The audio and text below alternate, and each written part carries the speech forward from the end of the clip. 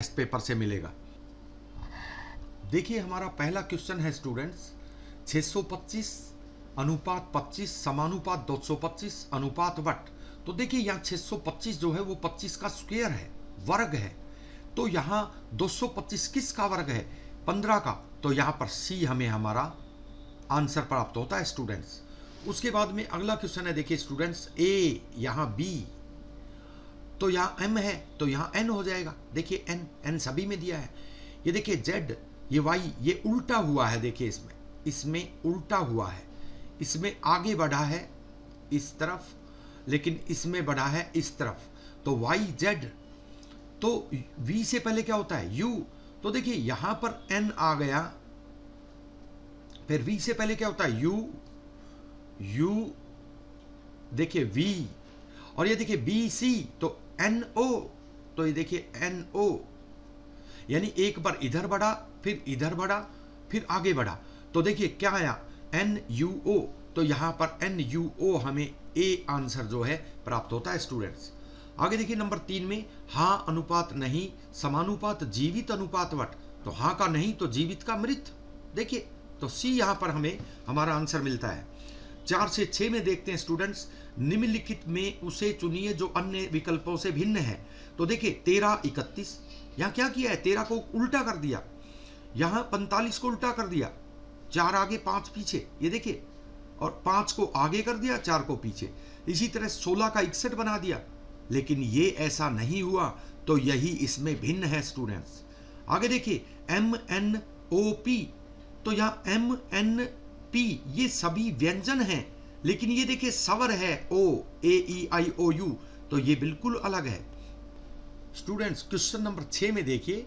लकड़ी, कार्क, काग, पत्थर, कागज़।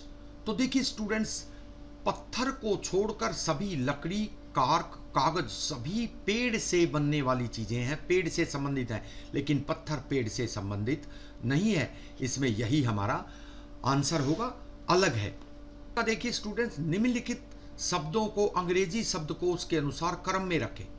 तो ये हमें देखने हैं कि कौन सा एक नंबर पे आएगा, कौन सा दो पे आएगा, कौन सा तीन पे आएगा। तो हम ये देखते हैं, सबसे पहले देखिए students P P P P सभी में है। तो इससे नहीं पता चलता कि कौन सा, किसका नंबर एक पहले है। अब देखिए स्टूडेंट्स अब देखिए students R R R R R यहाँ भी नहीं पता चलता, सभी बराबर है। फिर देखिए ई ई ई इसमें भी ई इसमें भी ई ये भी नहीं पता चलता। फिर एम एम एम और देखिए एम एम एम यहाँ आ गया। एल इसमें है एल एल तो कौन सा पहले होता है एम या एल एल पहले होता है। इट मीन्स इनमें से पहले नंबर का होगा और दूसरा भी इन्हीं में से होगा। अब ये देखिए एल एल पहले आता है तो इन दोनों का नंबर है, रेस में आगे ये है। एल एल अब देखो यू आई तो आई पहले है। तो आई पहले है तो एक नंबर हमने इसे दे दिया इंग्लिश डिक्शनरी में, एक नंबर पे इन सब में से चार होगा। लेकिन ये इनके साथ जब कंपटीशन दोनों का हुआ तो ये हार गया, पीछे रह गया तो ये यू तो ये दो नंबर पे आ जाएगा। देखिए स्टूडेंट्स अब तीन नंबर में कंपटीशन इन तीनों के बीच में है। तीन नंबर पे कौन सा आएगा? तो देखिए ई ई तक बराबर है एम एम तक बराबर है, फिर देखो ओ आई आई लेकिन आई में कंपटीशन हो गया। आई पहले होता है। आई में कंपटीशन यहाँ तक तो बराबर है। लेकिन पहले कौन है फिर? ये देखिए सी तो इसका मतलब तीन नंबर पे ये आ जाएगा, तीन नंबर पे। देखिए, और इन दोनों में कंपटीशन था, ये हार गया तो ये चार नंबर पे आ गया। ये देखिए, चार नंबर पे। तो पाँच नंबर पे कौन गया? अपने आप पाँच नंबर पे ये पहुँच गया। देखिए स्टूडेंट्स तो अब हम इसको नीचे देख सकते हैं। अब देखिए नीचे हम देखते हैं तो एक नंबर पे आया चार। उत्तर में देखिए, एक नंबर पे चार इन दोनों में है। दो नंबर पे दो तो दो भी इन दोनों में है, देखिए। तीन नंबर पे तीन तो ये इसमें ही है, देखिए स्टूडेंट्स तीन नंबर पे तीन इसी में है तो इसमें सी हमारा आंसर जो है, हमें प्राप्त होता है। तो इस तरह से स्टूडेंट्स ये अरेंज करने होते हैं। अगला क्वेश्चन है स्टूडेंट्स दिए गए विकल्पों में से कौन सा निम्नलिखित शब्दों का सार्थक आरोही क्रम दर्शाता है? तो देखिए स्टूडेंट्स सार्थक आरोही क्रम। यहाँ पर देखिए, सबसे पहले क्वेश्चन नंबर आठ में देखिए स्टूडेंट सबसे पहले नवजात शिशु से पहले नवजात अवस्था होती है, बच्चा पैदा होता है। फिर उसके बाद में शिशु तो तीन के बाद एक तो देखिए स्टूडेंट्स तीन एक यहाँ पर है। पहले नवजात, फिर शिशु, फिर वो बालक। देखिए, बालक फिर चार, बालक फिर युवा, दो और फिर प्रौढ़, पाँच तो एक नंबर ही हमारा इसमें आंसर आ गया। पहले नवजात होता है, फिर वो शिशु बनता है, फिर वो बालक बनता है, फिर युवा बनता है, फिर प्रौढ़ बनता है। तो एक नंबर पे यहाँ पर हमारा सार्थक आरोही क्रम हमें मिलता है स्टूडेंट्स स्टूडेंट्स हमारा प्रश्न नंबर नौ है दी गई अक्षर श्रृंखला के खाली स्थान पर क्रम से रखने पर निम्नलिखित में से कौन सा अक्षर समूह उसे पूरा करेगा? यानी फिलिंदा ब्लैंक्स खाली स्थान भरने हैं। देखिए स्टूडेंट्स, इन अक्षरों को हम इन फिलिंदा ब्लैंक्स में रखते हैं, खाली स्थान में रखते हैं, और कोई ट्यूनिंग बन जाती है तो ये समझ लीजिए, ये वही उसका आंसर है। यहाँ पर ए रखते हैं ए ए फिर देखिए A A B C A ए फिर यहाँ बी रखते हैं। बी सी ए ए फिर यहाँ सी सी तो ये कंप्लीट नहीं हुआ स्टूडेंट्स यहाँ तक तो कुछ बन रहा था, लेकिन कंप्लीट नहीं हुआ। तो बी में चलते हैं बी को रख के देखते हैं। ए ए देखिए A A B C A ए तो ये तो बन गया ए ए बी सी ए ए अब उसके बाद में बी रखते हैं बी सी ए ए देखिए बी यहाँ रखते हैं तो बी सी ए ए देखिए A A A B C A A B C A A B C तो इसका मतलब बी हमारा आंसर आएगा। ए हम यहाँ रख के देखते हैं, देखिए। फिर बी यहाँ रखते हैं। फिर बी यहाँ रखते हैं। फिर सी यहाँ रखते हैं। बोल के देखते हैं। A A B C A A B C A A B C तो देखिए बी यहाँ पर हमें अपना आंसर प्राप्त होता है, स्टूडेंट्स। हमारा अगला क्वेश्चन है स्टूडेंट्स, दिए हुए विकल्पों में से उस शब्द को चुनिए जो दिए गए शब्द के अक्षरों का प्रयोग करके नहीं बनाया जा सकता। तो देखिए स्टूडेंट्स, हम अपने क्वेश्चन में जाते हैं। तो यहाँ दिया है लाफ्टर वर्ड देखिए स्टूडेंट्स लाफ्टर लाफ्टर वर्ड जो है इससे कौन सा शब्द नहीं बनाया जा सकता? तो यहाँ देखिए जी A T E ji A T E इसमें है और रेट आर भी है तो ए टी तो पहले ही है। ए टी ई ये भी है एच भी इसमें है। यहाँ देखिए G R U N T तो देखिए एन कहाँ है? एन तो नहीं है। तो यही एक ऐसा शब्द है जो नहीं बनाया जा सकता। लाफ्टर शब्द के अल्फ़ाबेट से।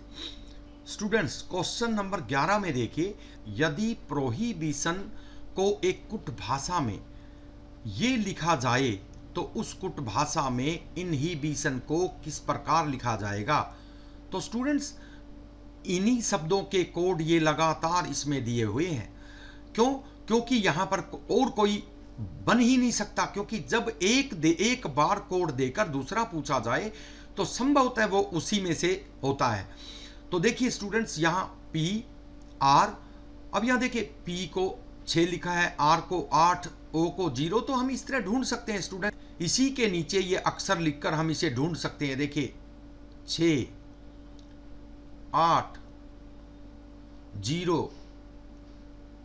तीन, दो, एक दो एक, दो चार दो ज़ीरो पाँच। अब देखिए, टी का चार, आई का दो, ज़ीरो और पाँच। तो हम ढूंढ सकते हैं, देखिए स्टूडेंट्स यहाँ पर दो का स्टार्टिंग में हम देखते हैं। तो दो का कोड क्या है, देखिए स्टूडेंट्स इन आई का कोड क्या है? दो। देखिए, सभी में है। फिर एन का कोड क्या है? एन का कोड देखिए, पीछे से पाँच है। तो वो भी सभी में है। फिर उसके बाद में एच तो एच का कोड क्या है? देखिए, तीन। तो तीन इसमें है और इसमें है, ये हमारी लाइन से चला गया। तीन सभी में है। फिर उसके बाद में आई का कोड देखते हैं, दो। तो आई का कोड दो इसमें भी नहीं है, जबकि आई का कोड दो इस, इन दोनों में है। अब देखिए स्टूडेंट्स इन दोनों में भिन्न क्या है वो ढूंढ लीजिए, क्योंकि आंसर तो इन दोनों में है। जब इन दोनों में हमारा आंसर है तो इसमें भिन्न क्या है वो देख लेते हैं। पीछे से देखो, एक, दो, तीन, चार। ये दोनों अक्सर भिन्न है। तो एक, दो, तीन, चार में ही देखते हैं। एक, दो, तीन, चार, टी टी का क्या है कोड? देखिए, टी का चार है। तो चार किसमें है? चार डी में है। तो यहाँ पर डी हमें हमारा आंसर मिलता है स्टूडेंट्स। स्टूडेंट्स, क्वेश्चन नंबर बारह है, देखिए। चिन्हों या संख्याओं के किस अदल बदल से निम्न समीकरण सही हो जाएगा? तो देखिए स्टूडेंट्स, यहाँ चिन्ह दिए गए हैं। कहता है, ए में कहता है, दो और तीन को बदल दे। तो दो की जगह तीन तीन की जगह दो। चलो करके देखते हैं। तो दो की जगह तीन कर देते हो तो ये दस हो जाता है, देखिए। दस।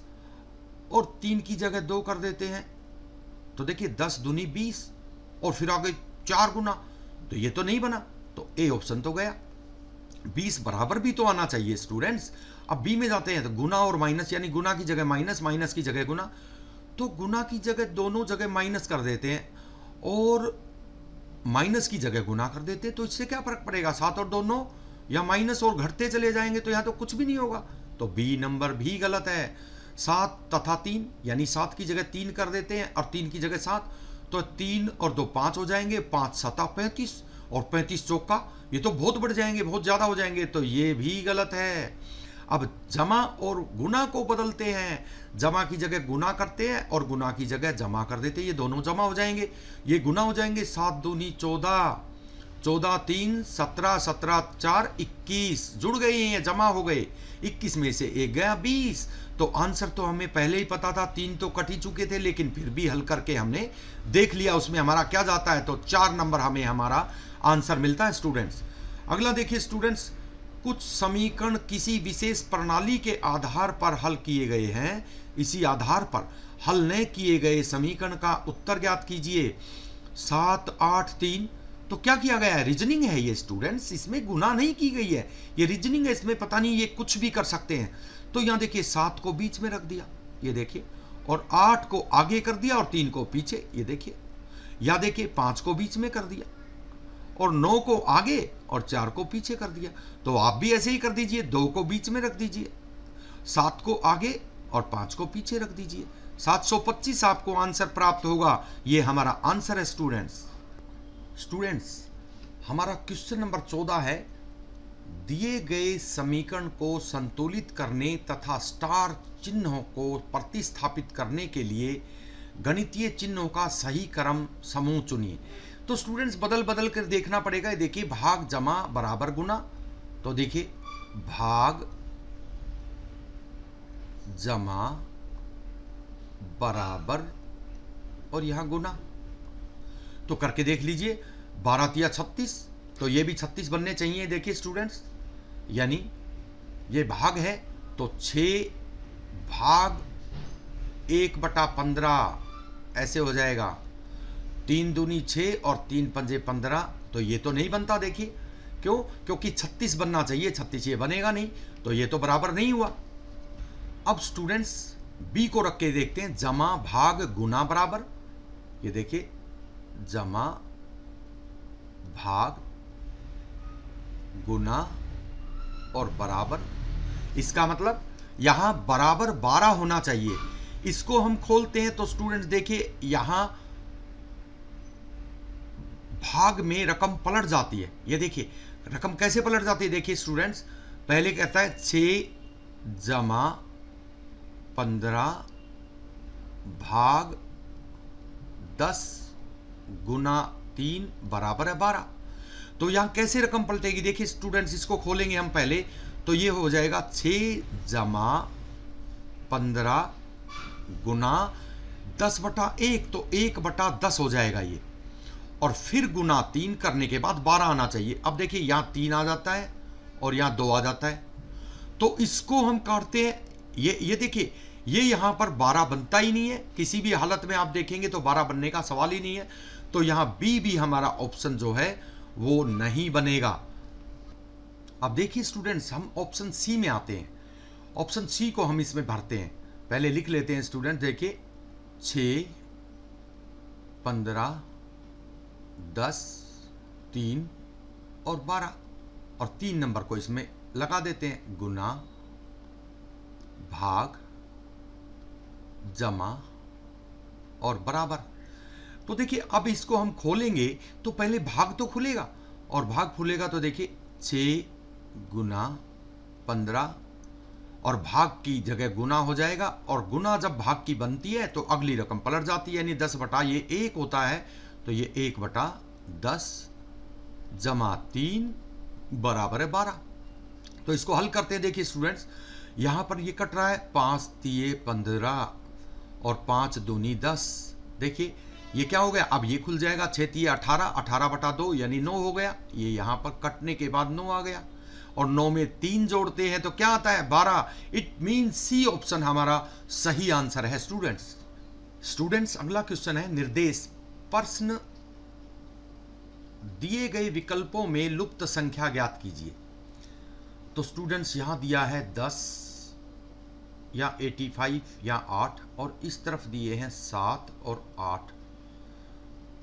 तो दस आठे, दस गुना आठ। इधर अगर देखते हैं, दस अठे अस्सी, पाँच यहाँ बढ़ाए हुए हैं। सातु सतु उनचास, यहाँ पर सात नहीं बढ़ाए हुए। ओ, सतु सतु उनचास, यहाँ पर भी पाँच बढ़ाए हुए हैं। उनचास, पाँच, चौवन चौवन। दस अठा अस्सी, पाँच प्लस, इसका मतलब इन दोनों की गुना और फिर प्लस पाँच। पिचासी। सत, इन दोनों की गुना और पाँच प्लस।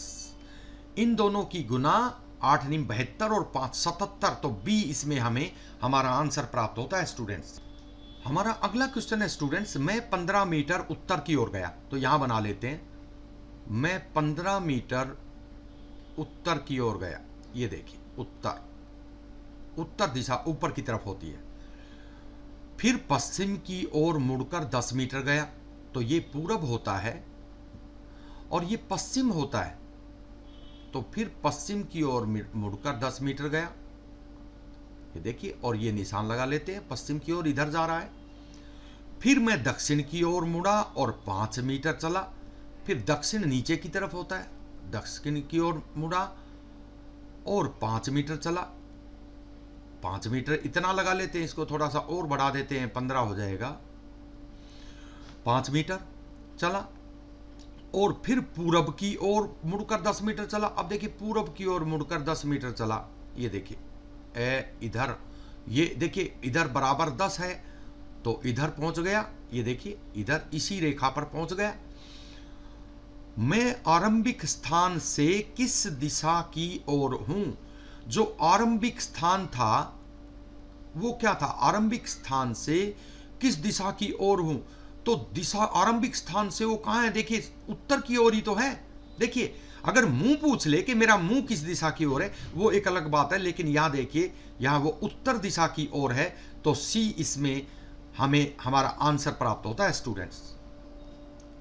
स्टूडेंट्स, हमारा अगला क्वेश्चन है, देखिए, छह मित्र ए बी सी डी ई और एफ़ पूरब की ओर मुख करके एक पंक्ति में बैठे हैं। सी बीच में है ए और ई के। बी ई के निकटतम दाएँ, लेकिन डी के बाईं ओर है। एफ़ के दाएँ छोर पर नहीं है। एफ़ दाएँ छोर पर नहीं है। ए के बाईं ओर कौन है? तो स्टूडेंट्स कहता है, पूरब की ओर मुख करके बैठे हैं, लेकिन अंत में पूछता है ए के बाईं ओर कौन है? तो यहाँ डायरेक्शन का, दिशाओं का कोई भी अर्थ नहीं है। आप अपनी सुविधा के अनुसार क्वेश्चन को बना सकते हैं। देखिए ए बी सी डी ई उत्तर की ओर, पूर्व की ओर मुँह करके बैठे हैं। एक पंक्ति में बैठे हैं। सी बीच में है ए और ई के। तो देखिए, हम यहाँ लिख सकते हैं। सी बीच में है ए और ई के। देखिए, लेकिन साथ में ये भी तो याद रखेंगे कि सी बीच में है ई और ए के। देखिए, बात तो एक ही है कि सी बीच में है ए और ई के, या ई या ए ए की बात है तो हमें सी को बीच में रखना है, लेकिन यह भी याद रहे कि हमें दोनों तरह से अरेंज करने पर हमें क्वेश्चन का आंसर आसानी से मिल जाएगा। बी ई के निकटतम दाएँ, लेकिन डी के बाई ओर है। तो देखिए बी ई के निकटतम दाएँ बी जो है ई के निकटतम दाएँ तो अब अगर हम इसको ई के निकटतम दाएँ बी को यहाँ लगाते हैं, बी जो है, बाएँ हो गया, ई के बाएँ हो गया।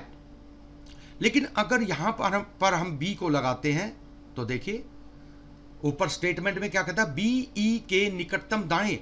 तो देखिए, ई के निकटतम दाएँ बी इसमें बनता है। लेकिन डी के बाई ओर है, और डी के बाई ओर है, कौन? बी। देखिए कहता है बी ई के निकटतम दाएँ और डी के बाई ओर है तो डी के बाई ओर इसमें बनता है, इसमें तो नहीं बनता। और आगे कहता है एफ़ दाएँ छोर पर नहीं है। तो देखिए, दाया छोर तो ये होता है और एफ़ इस छोर पे है नहीं तो किस छोर पे है? इस छोर पे है। तो देखिए स्टूडेंट्स ये अरेंज हो गए हैं। F A C E B D अब चाहे इनको ऐसे खड़े करके आप पूरब की तरफ़ कर दें। उससे कोई फ़र्क नहीं पड़ता, क्योंकि उत्तर में पूछा हुआ है, ए के निकटतम, ए के बाई ओर कौन है? तो अब हम ये देखेंगे कि ए के बाई ओर कौन है। यहाँ देखिए, ए के बाई ओर। तो ए का ये तो इस तरफ़ तो दाया होता है, और इस तरफ़ बाया होता है तो एफ़, ए के बाई ओर, एफ़ है। तो स्टूडेंट्स देखिए, डी आंसर हमें यहाँ पर हमें प्राप्त होता है। स्टूडेंट्स, क्वेश्चन नंबर 18 में देखिए, यदि के ई डी जी वाई को एक कुट भाषा में ई के डी वाई जी लिखा जाए तो उस कुट भाषा में light L I G S T को किस प्रकार लिखा जाएगा? तो देखिए स्टूडेंट्स इसमें के ई को ई के किया गया है। तो हम एल आई को आई एल कर देंगे आई एल देखिए स्टूडेंट्स और फिर डी जी वाई को डी डी वाई जी लिखा गया है। यानी वाई को उठाकर बीच में रख दिया गया है। तो जी एच टी को हम जी टी एच कर देंगे। तो जी टी एच देखिए स्टूडेंट्स यहाँ पर हम इसको जी टी एच करते हैं। तो जी टी एच हमें ऑप्शन नंबर सी में जो है, हमें प्राप्त होता है स्टूडेंट्स ऑप्शन नंबर सी में। अगला क्वेश्चन नंबर 19 है स्टूडेंट्स देखिए कि कितने ग्रामीण लोग शिक्षित हैं। तो देखिए यहाँ त्रिभुज जो है, वो शिक्षित को दर्शाती है। और ये सर्कल जो है, ये वृत्त जो है नौकरी पेशा वर्ग के लोगों को दर्शाता है, जबकि दूसरा जो है, ये ग्रामीणों को दर्शाता है।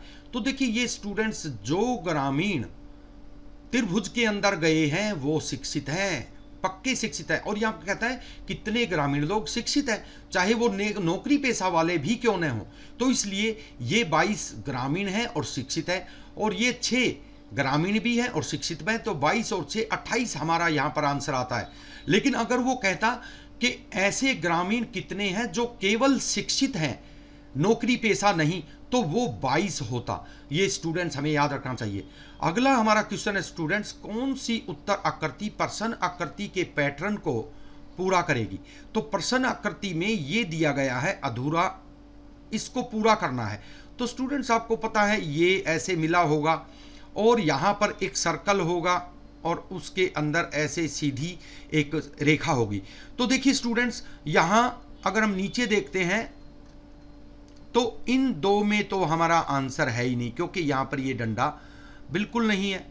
और फिर यहाँ देखते हैं तो यहाँ पर देखिए, यहाँ सीधा डंडा है और यहाँ टेढ़ा डंडा है, जबकि इसमें सभी डंडे सीधे हैं। तो ये पहले वाला ऑप्शन हमारा आंसर होगा, जो सही पैटर्न को पूरा करेगा। स्टूडेंट्स क्वेश्चन नंबर 21 में देखिए, उस उत्तर आकृति को चुनिए, जिसमें प्रसन्न आकृति निहित है। यानी स्टूडेंट्स इसको अच्छी तरह से देखिए, ये आकृति किसमें सेम बनती है? तो स्टूडेंट्स यहाँ तो क्लियर ही दिखाई दे रहा है, ये बिल्कुल नहीं बनती। और यहाँ भी नहीं बनती, क्योंकि ये अगर नीचे की तरफ़ हम उसको उल्टा भी कर दें तो भी नहीं बनती। और यहाँ भी सवाल पैदा नहीं है, सिर्फ़ इसी में निकलती है। कैसे? ये देखिए स्टूडेंट्स ये ये देखिए। ये सीधा और ये। ये देखिए क्लियर है इसके अंदर ये वाला, इसमें बनता है। अब इसके साथ ये टेढ़ी रेखा और ये। तो देखिए यहाँ पर, इसी के साथ, ये देखिए, इसके साथ ये टेढ़ी रेखा और ये। केवल डी में है तो हमारा आंसर इसमें डी आंसर सही है स्टूडेंट्स डी हमें आंसर मिलता है। क्वेश्चन नंबर 22 में देखिए स्टूडेंट्स नीचे प्रसन्न आकृति में दिखाए अनुसार, कागज़ को मोड़ने, काटने तथा खोलने के बाद वह उत्तर आकृति जैसा दिखाई देगा।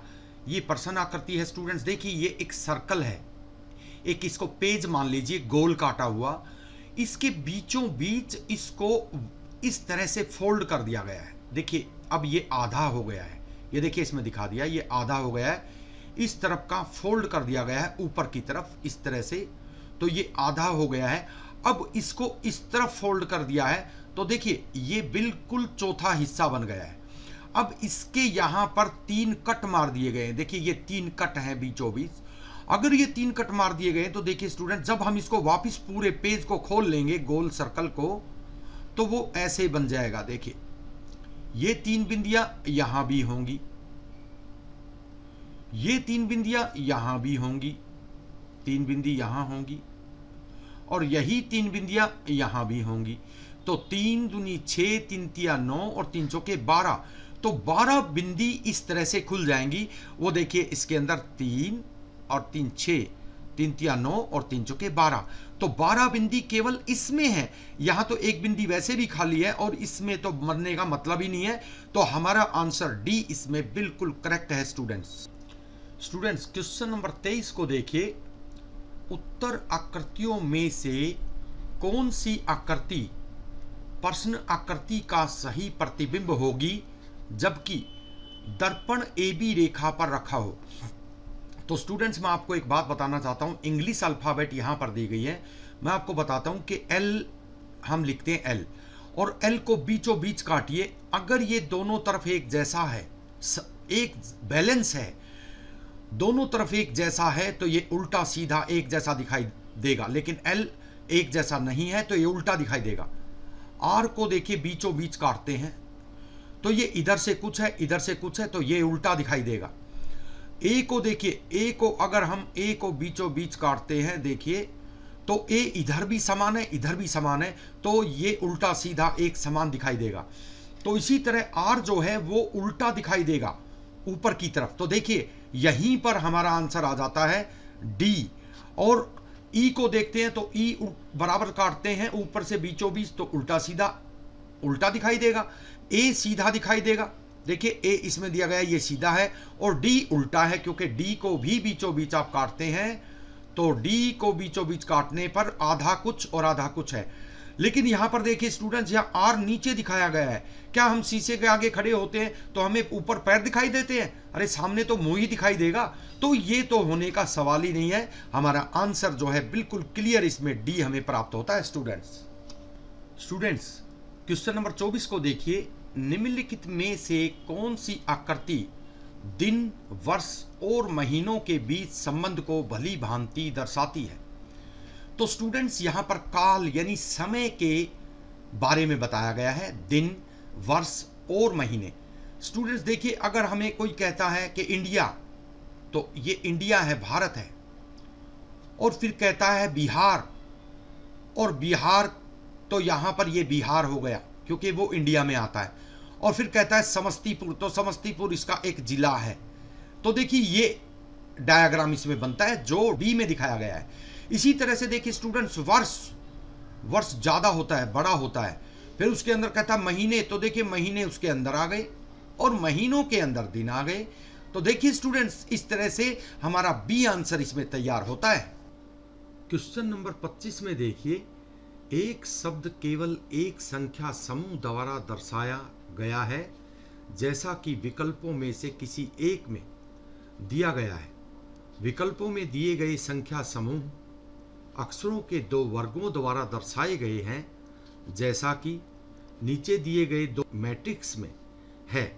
मैट्रिक्स एक के स्तंभों और पंक्तियों की संख्या ज़ीरो से तीन दी गई है और मैट्रिक्स दो की चार से सात। इन मैट्रिक्सों में से एक अक्षर को पहले उसकी पंक्ति और बाद में स्तंभ संख्या द्वारा दर्शाया जा सकता है। उदाहरण के लिए ए को ज़ीरो ज़ीरो, तैतीस, इक्कीस आदि द्वारा दर्शाया जा सकता है, तथा एम को बाईस, तीस, तेरह आदि द्वारा दर्शाया जा सकता है, दिए गए शब्द मील के लिए। संख्या समूह पहचानिए। Meal M E A L meal. तो स्टूडेंट्स देखिए मैं आपको स्तंभ में यानी मैट्रिक्स नंबर वन और टू में ये सभी अच्छी तरह से समझाऊँगा। स्टूडेंट्स, मैट्रिक्स में आते हैं। देखिए, मैट्रिक्स में कोड क्या होता है? देखिए, मैट्रिक्स में हमें किस, हमें कोड ढूंढना है। एम ई ए एल मील का कोड ढूंढना है। देखिए, स्टूडेंट्स, ये स्तंभ संख्या होती है और ये पंक्ति संख्या होती है। ये स्तंभ संख्या होती है और ये पंक्ति संख्या होती है स्टूडेंट्स तो यहाँ पर देखिए, सबसे पहले एम का कोड हम देखते हैं। एम का ज़ीरो एक, देखिए ये पंक्ति संख्या और ये स्तंभ संख्या होती है। तो एम का ज़ीरो एक तो ज़ीरो एक हमें डी के वन में मिलता है। अब हम ऊपर देखते हैं एम का एक और इधर तीन, तेरह। तो तेरह हम देखते हैं नीचे स्टूडेंट्स तेरह हमें ऑप्शन ए में मिलता है। उसके बाद में एम का हम देखते हैं स्टूडेंट्स दो, इधर दो है और इधर दो है, यानी बाईस। तो बाईस देखिए हमें ऑप्शन बी में मिलता है। फिर उसके बाद में हम देखते हैं एम का तीन और ज़ीरो तीस। तो तीस देखिए स्टूडेंट्स तीस हमें ऑप्शन सी में मिलता है। तो स्टूडेंट्स चारों कोड एम के हमें चारों ऑप्शन में मिल चुके हैं। अब स्टूडेंट्स हमें कोड ढूंढना है ई का। ई e का कोड हमें फाइंड आउट करना है। एम का हम फाइंड आउट कर चुके हैं। तो ई e का कहाँ है? देखिए स्टूडेंट्स ई का चार, इधर चार है पंक्ति में और सतम में चार, चवालीस। तो देखिए स्टूडेंट्स चवालीस यहाँ पर है। फिर ई का हम ढूंढते हैं। देखिए स्टूडेंट्स इधर पाँच है और इधर छः है, छप्पन। तो देखिए स्टूडेंट, छप्पन सी में है। फिर उसके बाद में हम ई का ढूंढते हैं, छ और इधर है पाँच, पैंसठ। तो पैंसठ देखिए स्टूडेंट्स, डी में है। फिर उसके बाद में ई का हम ढूंढते हैं सात और इधर सात। तो सतहत्तर, देखिए स्टूडेंट्स, सतहत्तर इसमें नहीं मिला तो ये हमारे पंक्ति से बाहर हो गया। तीन ऑप्शन हमारे पास बाकी बचे हैं। तो स्टूडेंट्स देखिए, अब हमें कोड ढूंढना है ए का। ए का कोड देखिए, पंक्ति में ज़ीरो ज़ीरो तो ज़ीरो ज़ीरो नीचे देखते हैं। ज़ीरो ज़ीरो किसी में नहीं है। फिर हम जाते हैं ए के दूसरे कोड पर, एक और दो, यानी बारह। सतम में दो और पंक्ति में एक, बारह। तो 12 देखते हैं नीचे स्टूडेंट्स देखिए। 12 देखिए स्टूडेंट्स 12 हमें डी ऑप्शन में प्राप्त होता है। फिर उसके बाद में हम जाकर देखते हैं। ए का कोड दो, एक, इक्कीस। इक्कीस हमें मिलता है। तो इक्कीस हम देखते हैं तो स्टूडेंट्स इक्कीस हमें सी ऑप्शन में प्राप्त होता है। फिर उसके बाद में ए का कोड देखते हैं स्टूडेंट्स ए का कोड तीन और तीन तैतीस। तो तैतीस ए का कोड हमें कहीं भी प्राप्त नहीं होता स्टूडेंट्स इसलिए हमारा ऑप्शन नंबर ए भी हमारी लाइन से बाहर हो जाता है। हमारे पास दो ऑप्शन बचते हैं। स्टूडेंट्स अब हमें कोड ढूंढना है एल का। देखिए स्टूडेंट्स और एल का कोड नीचे है। तो देखिए एल का कोड पहले हम देखते हैं चार, और इधर छे छियालीस। तो देखिए स्टूडेंट छियालीस कोड जो है, यहाँ ये तो कट ही चुके हैं। छियालीस कोड दोनों में से किसी में नहीं है। फिर हम एल का कोड देखते हैं स्टूडेंट्स पाँच और चार, चौवन। तो चौवन देखिए, इन दोनों ऑप्शन में किसी में नहीं है। फिर हम एल का कोड देखते हैं स्टूडेंट्स छ और सात, सड़सठ। तो देखिए स्टूडेंट सड़सठ हमें यहाँ पर प्राप्त होता है। फिर उसके बाद हम एल का कोड देखते हैं, सात और पाँच, पिचहत्तर। तो देखिए स्टूडेंट्स पिचहत्तर और किसी में भी नहीं है। ये भी कट चुका है। इसका मतलब हमारा ऑप्शन सी हमें बिल्कुल करेक्ट कोड जो है इसमें प्राप्त होता है। तो स्टूडेंट्स इस प्रकार से आपने हमारे इस एमटीएस टेस्ट पेपर के टॉपिक को देखा। मुझे पूरी आशा है कि आपको हमारा ये वीडियो बहुत ही पसंद आया होगा।